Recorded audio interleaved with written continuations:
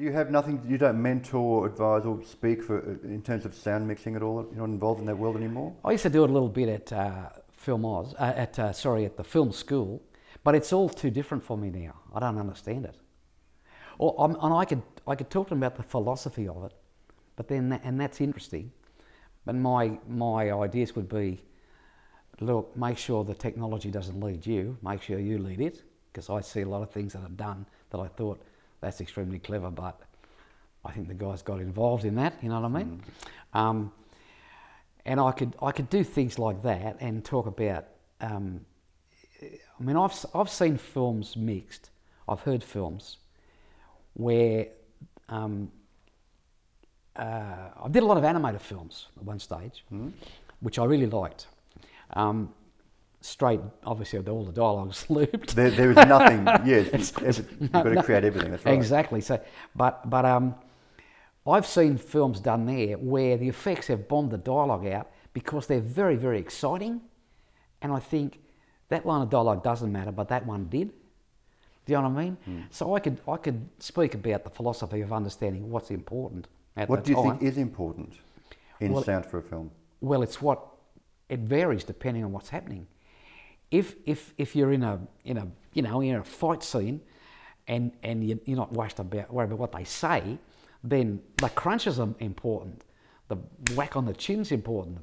You know, the bang on the head with the nulla nulla, whatever is important.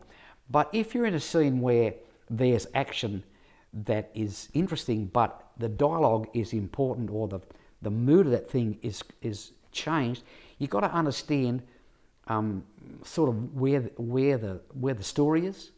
Once you lose the story, you're gone. Everything, every picture's a story, and I, and I just see it and I think, oh, you idiot, now and again, because even when I mixed, I'd say to my fix mixer, mate, that's a fantastic bomb sound, but this just guy said the name of the bloody bloke is very important. For, for instance, a, a lovely example.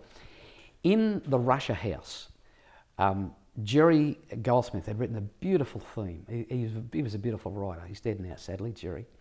Um, and the scene opens with Michelle Pfeiffer, who plays the part of this lovely Russian girl, walking down this big, big avenue. It's wide, it's a big, wide thing. And she's walking down here, and there's a lovely music theme playing. On the effects tracks, there are her feet from 200 yards away right to here, which is fair enough. When you want them, they're there. On track also, there is, then there's a few little um, um, leaves being blown about a bit. There's a little wind stuff, which is there when you want it. And there's a beautiful music score. Halfway down the thing, Sean Connery, who we haven't met yet, says, Yekaterina Orlova, Katya. That's the opening line. Yekaterina Orlova is the name of the girl and she's nicknamed Katya. Mm-hmm. That's got to be heard. Who gives a about the bit leaves and the feet, or even at that time Jerry's music? And it, was such a shame, I thought, that that music had to dip down so far for that. But if you don't tell the people who the woman is, what's happening? Mm. So you've got to be very careful. No matter you've got to play that music as beautifully as you can, but you've got to make sure that as it, it's got to come down a fraction before he says Katya. It can't go da da da da da Katya. It's got to be a smooth transition. Well, you've got to prepare the audience for, to know something's going to happen.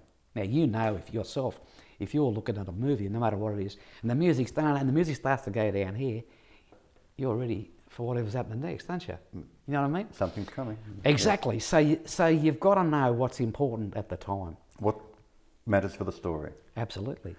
I could keep on talking for hours, but I think we've been talking long enough. Peter Fenton, it's been a wonder talking to you. It's a pleasure, uh, going through your entire career briefly. We only touched on some of the films after all. Thank you so much for being a part of this interview for the Litmus Test, Peter Fenton. It's a pleasure.